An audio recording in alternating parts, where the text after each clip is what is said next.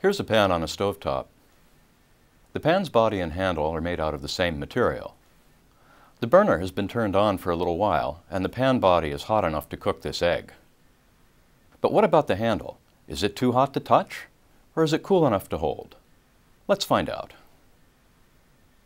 This video is part of the Equilibrium video series. It is often important to determine whether or not a system is at equilibrium. To do this, we must understand how a system's equilibrium state is constrained by its boundary and surroundings. Hi, my name is John Lienhard, and I am a professor of mechanical engineering at MIT. Today, I am going to talk to you about equilibrium and steady state. It's a common misconception that equilibrium and steady state are the same. In this video, we'll take a closer look at these concepts and see how they differ.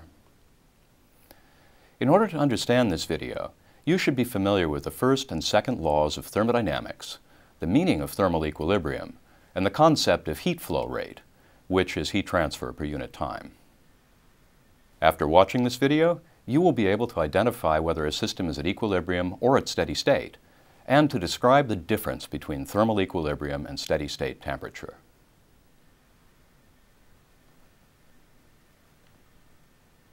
This metal bar has been sitting in a large room for a long period of time.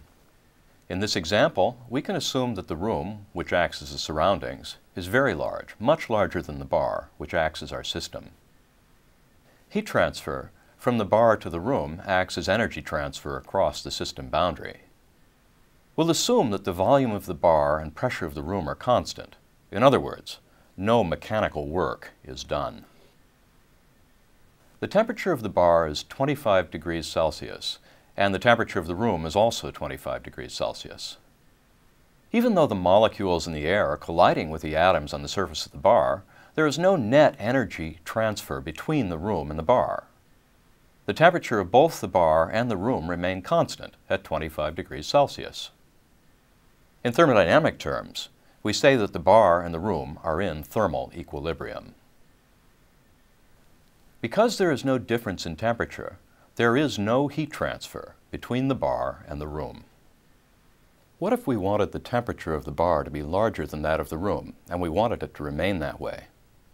Pause the video and think about how we might do this.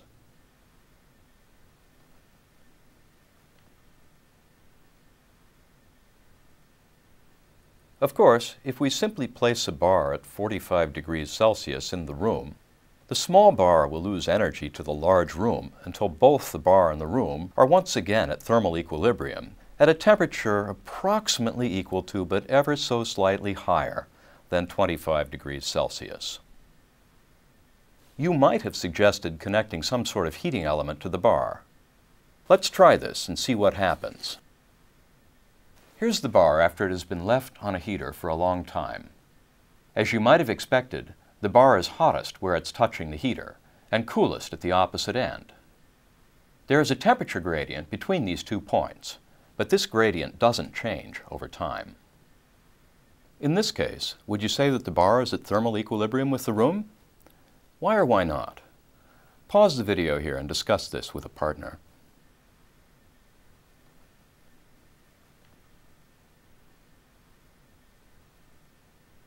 We know that energy is being continuously transferred from the heater to the metal bar. And we also know that the temperature profile of the bar is not changing. In other words, it's not getting any hotter or cooler. That means that the bar must be transferring the energy it's gaining from the heater to the air in the room. And that means it cannot be in thermal equilibrium with the room. Now, in order for the temperature profile to be constant in time, the heat flow rate from the heater into the bar must be constant and equal to the heat flow rate from the bar to the room. We could use a new term to describe these conditions. We could say that the bar is at steady state. A quantity is at steady state when it is constant with respect to time. In other words, the partial derivative of the quantity with respect to time is zero. The metal bar is at steady state because the time derivative of its temperature at any point is zero. This happens when the heat flow rate into the bar and out of the bar are equal and constant.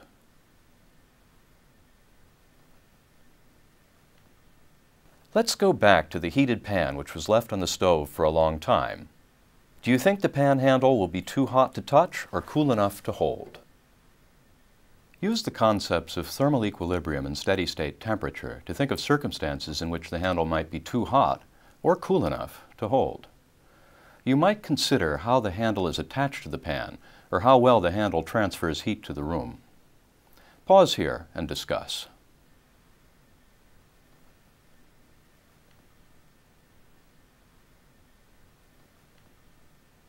How many scenarios did you come up with? There are many, but let's start with two extreme cases. What would happen if the handle and the pan were in perfect thermal contact and both were completely isolated from the room? Eventually, the handle would reach the same temperature as the pan.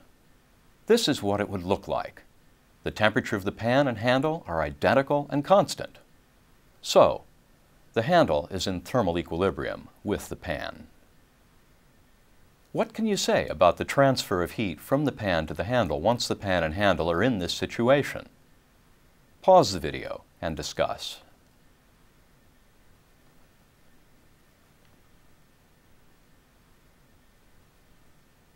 The rate of heat transfer must be zero.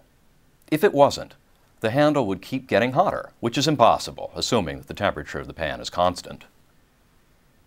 The heat flow rate from the handle to the room is also zero, because we assume that the handle is isolated from the room. So, the heat flow rates into and out of the handle are exactly the same, zero and constant. And steady state occurs when the flow rate in equals the flow rate out, even if they're both zero. So, this scenario, which we've been describing as equilibrium, is really just a limiting case of steady state. And that's true for all systems at thermal equilibrium. They are at steady state with respect to temperature. But the opposite is not true. Not all systems at steady state are at thermal equilibrium. In this case, the handle will obviously be too hot to hold, since it's the same temperature as the pan. Now let's consider the opposite case. What would happen if the handle were completely insulated from the pan? The handle would be at thermal equilibrium with the room and would stay that way no matter how hot the pan got. The temperature of the handle would be exactly the same as that of the air. Just as in our first case, both the heat flow from the pan to the handle and from the handle to the air are zero and constant. Thus, this case of thermal equilibrium is really just a limiting case of steady state temperature, except, of course, the handle will be cool enough to hold. Both of these cases are great thought experiments, but they could never happen in real life because it's impossible to completely isolate one component of a system from another. In case 1, it would be impossible to isolate the pan and the handle from the room. And in case 2, it would be impossible to isolate the handle from the pan. So are we any closer to figuring out whether we can pick up this pan or not? Let's keep going. Let's go back to our first case and refine our thinking. We originally assumed that the pan and the handle were in perfect thermal contact and that the pan and the handle were totally isolated from the room. Let's keep the first assumption, but change the second assumption. In other words, we will allow for some flow of heat from the handle to the room. Now what happens as we heat up the pan? we can assume that the heat flow rate from the pan to the handle is initially larger than the heat flow rate from the handle to the room. This is reasonable because the pan is initially much hotter than the handle. So the handle will definitely heat up, just like our metal bar from before. As long as the flow of heat from the pan to the handle is greater than the flow of heat from the handle to the room, the handle will get hotter. And also, just like our metal bar, it will be hottest closest to the pan and coolest far away from it. As the temperature of the handle rises, the heat flow rate from the handle to the room will also rise, and eventually it will equal the heat flow rate from the pan to the handle.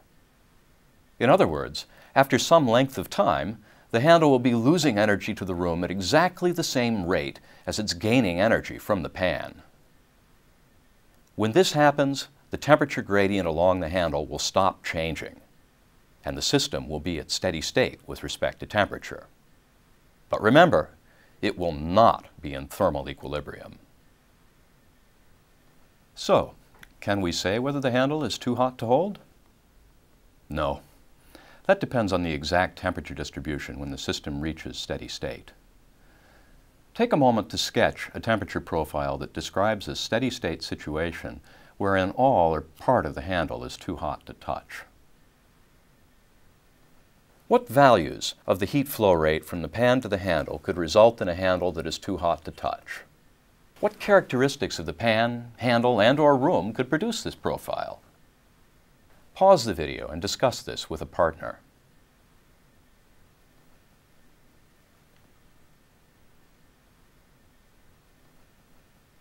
Okay, we're at our final scenario. Let's review the previous cases. In case 1, we assume that the pan and the handle were in perfect thermal contact and that the system was completely isolated from the room. In case 2, the handle was completely isolated from the pan. In both case 1 and case 2, the handle was in thermal equilibrium. There was no transfer of heat into or out of the system. The handle was also at steady state with respect to temperature. Make sure that you can explain why this is true. In case 3, we went back to our assumption of perfect thermal contact between the pan and the handle, but we allowed for some heat transfer from the handle to the room. For this final case, let's pick and choose the most reasonable assumptions from our previous cases and build from there.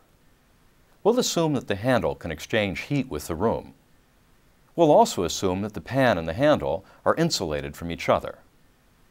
This is reasonable because if you're a pan designer, you don't want your customers burning their hands. But of course, there is no such thing as perfect insulation, so we'll have to allow for at least some heat transfer between the pan and handle. If the rate of heat flow from the pan to the handle is extremely small, what can you say about the temperature profile across the handle once the system reaches steady state? Pause the video and sketch a possible steady state temperature profile in the handle.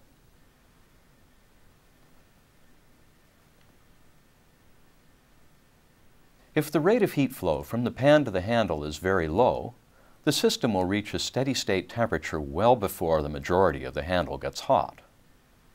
There will be a very small region near the pan where the handle is hotter than the room, but most of the handle will be close to the temperature of the room. So let's answer our original question. Will the pan handle be too hot to hold, or will it be comfortable to touch? Let's look at a thermal image of the pan after it has been left on the stove for 30 minutes. It looks like we predicted in case 4. A very small portion of the handle is warmer than the room, but most of the handle is at room temperature. Remember, this does not mean that the handle is in thermal equilibrium with the room. There is a constant but small rate of heat flow from the pan to the handle, and an equal rate of heat flow from the handle to the room. The handle was designed to reach a steady state temperature that is comfortable to hold without a glove. This is a well-designed pan.